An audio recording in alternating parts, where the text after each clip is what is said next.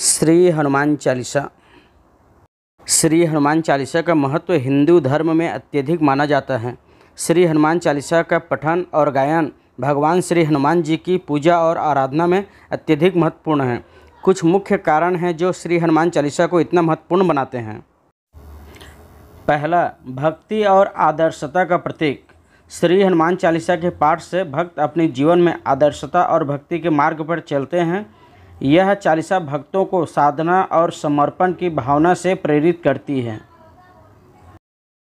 दूसरा, संकटों का निवारण। श्री हनुमान चालीसा के पाठ से भक्तों के संकट और दुखों का निवारण होता है। श्री हनुमान जी की कृपा से भक्तों के जीवन में संकटों की समाप्ति होती है।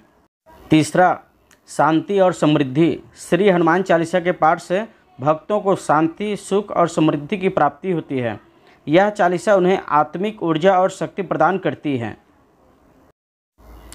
चौथा, शारीरिक रोगों का नाश। श्री हनुमान चालीसा के पाठ से भक्तों के शारीरिक और मानसिक रोगों का नाश होता है। श्री हनुमान जी की कृपा से उनके भक्तों के शरीर की रक्षा होती है।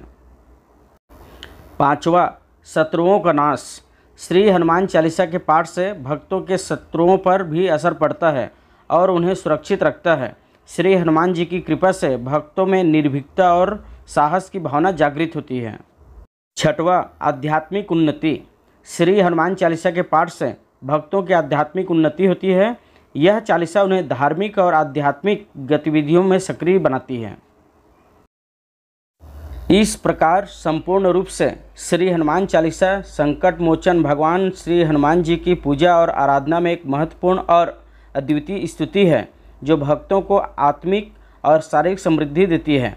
इसका पाठ और गायन भक्तों को उद्धार, आनंद और शांति की प्राप्ति में सहायक होता है।